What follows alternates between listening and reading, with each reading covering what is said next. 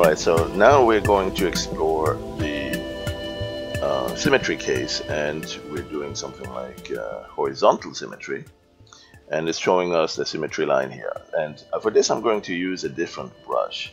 Uh, I'm going to use one that's a little bit more uh, predictable less smeary just so we get a clearer idea of what's going on. Let's take the large airbrush. That's actually your default brush.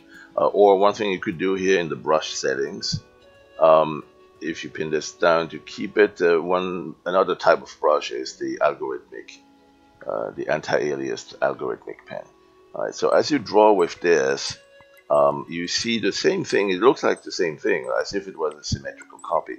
But if you if you look a little bit closer, uh, perhaps let's make the size a little bit smaller.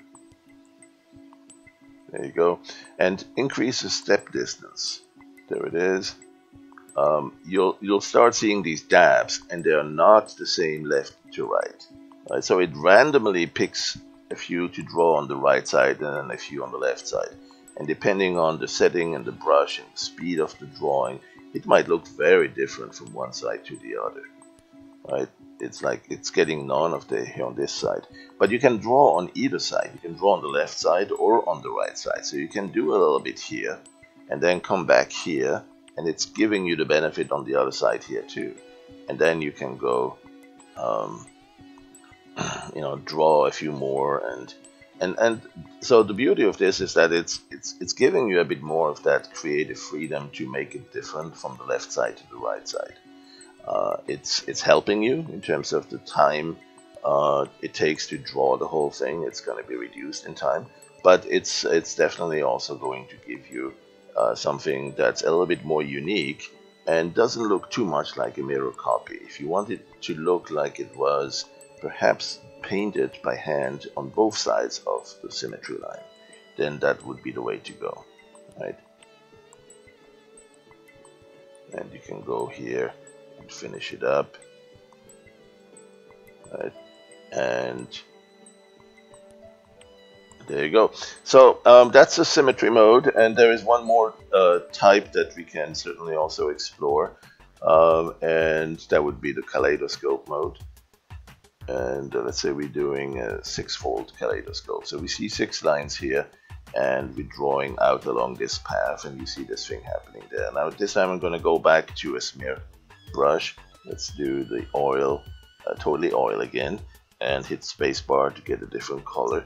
And so as you're drawing along that, you're, you'll see some interesting kaleidoscope type uh, features coming out. And certainly the octopus is no longer a special feature with 8 legs. Now here we have 20, 30 or 40 legs in a heartbeat. Um, let's see if we go to a lighter color, like uh, maybe some like pink, something like this and then some even lighter. There you go. Alright so uh, hopefully that'll give you some ideas of uh, some other things to explore and try. Um, we have seen um, right here the kaleidoscope.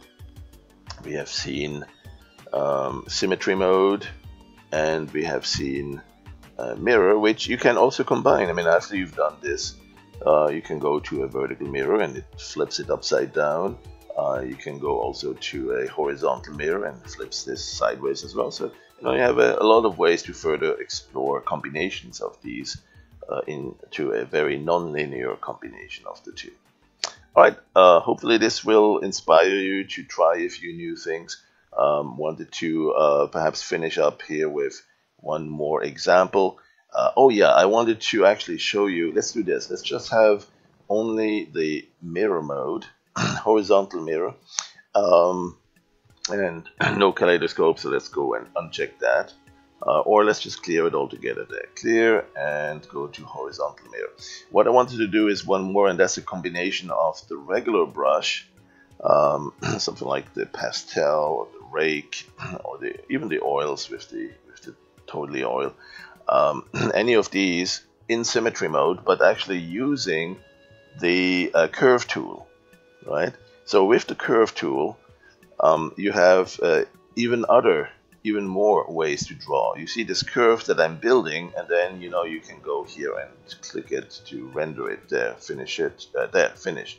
Right, so it's drawing along that, but now it's doing the symmetry thing on top of that. Right, so let's go and uh, make sure that we have perhaps the curve only on the right side of the symmetry line. Remember the symmetry line goes down here along the middle. So I'm going to go a curve, something like this. Maybe that'll be the basic shape of my uh, skull. And I don't want to close it, so let's go and open that. I think there's an option here. And now go and finish it along that. So if I, oh, I must have probably, well, let's see, that's odd. Doesn't look like I'm finishing it here. I could fill it. Oh, that's another option. Um, I'm not sure why I'm not finishing it here with the smear tool. Oh, there it is. All right, so um, and every time that you re-render it, maybe a different brush might be a little bit easier to recognize. Let's use um, medium airbrush there and use a different color, blue, and um, go back to the curve tool, and there you go. All right, so drawing with this and enabling the symmetries, uh, opening up another universe of possibilities.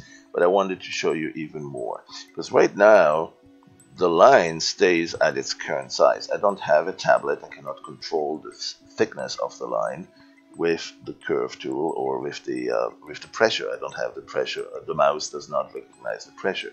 So if I finish this up, it's always the same line. And what I'd really like to do is have it simulate the tablet. So I'm going to show you how to do that uh, instead of having to create these curves and then click over here for finish, right? One way you could do that instead is to use the second finish mode instead of this one here, right? This one says stroke a brush along the path. This one here is paint a brush along the path. And what that one does is it mimics the pressure. So as, as if I came in slowly and softly with the tablet and then went to a higher pressure level and then back to less. So that's the first step to understand what I'm going to do. Um, the size is uh, currently at 50. Let's see if we can go up to higher size and do this uh, finish up again. Oops, let's get this point back up here where it belongs and uh, finish. There. So now you have this idea here, right? So a new a new brush stroke might be something going like this and uh, render it there. Now let's say we have a brush stroke that starts from, uh, let's go clear this and start from outside, uh, from, from the visible part. This right half is where we will see things. But then we cross over the central line and then we go back into here, right?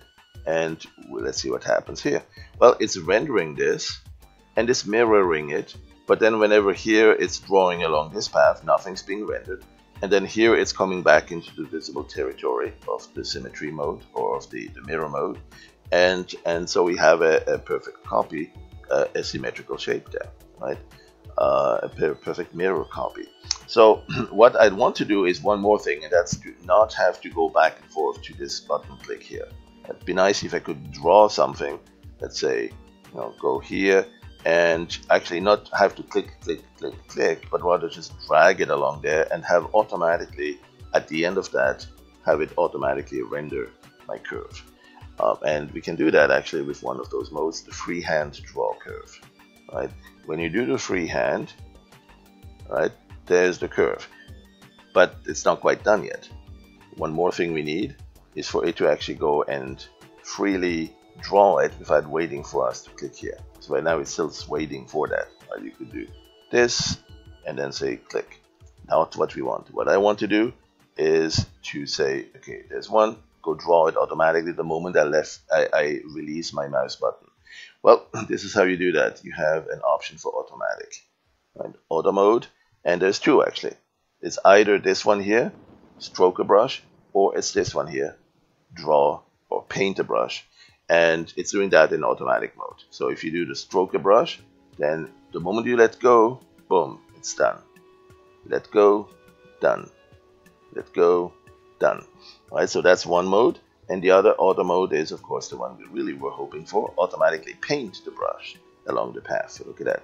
and here it's still simulating that uh, brush pressure to give you a style which is rather unique because it enables a lot of new features. Um, you could go, for instance, do some ears and do all sorts of really funky shapes with that. Do some lips, um, do some nose, do some eyes, eyelids,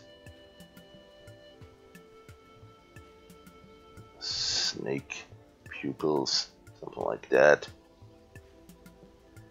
Uh, yep, that's it. Uh, you know, it's a, it's another type of brush, another type of combination of brush and uh, or, or, drawing style, and um, certainly has a lot of possibilities in and of itself. Uh, wanted to share that with you. Uh, it's called the mirror mode, together with the um, uh, curve tool uh, together in a particular mode called the automatic mode with uh, painting the brush along the path.